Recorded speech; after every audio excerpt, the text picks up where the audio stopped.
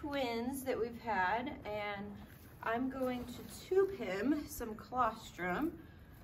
And so when you tube, you want to put it in their mouth and it'll be to my right side, the calf's left side. And you'll put it in slow and they'll kind of swallow it down. And in order to know if you have it on the right side, you'll be able to feel it in his throat, the tube. And so I can feel it, so I know that I have it in the right side.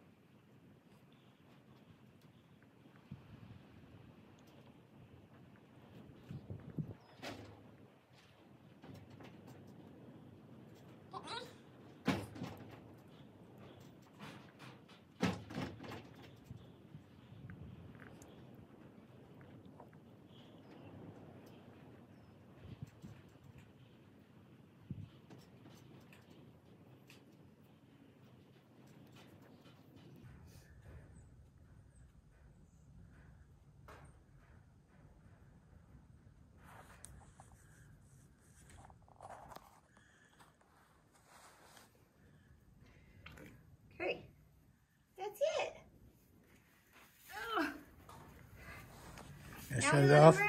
Do I shut it off? Yep.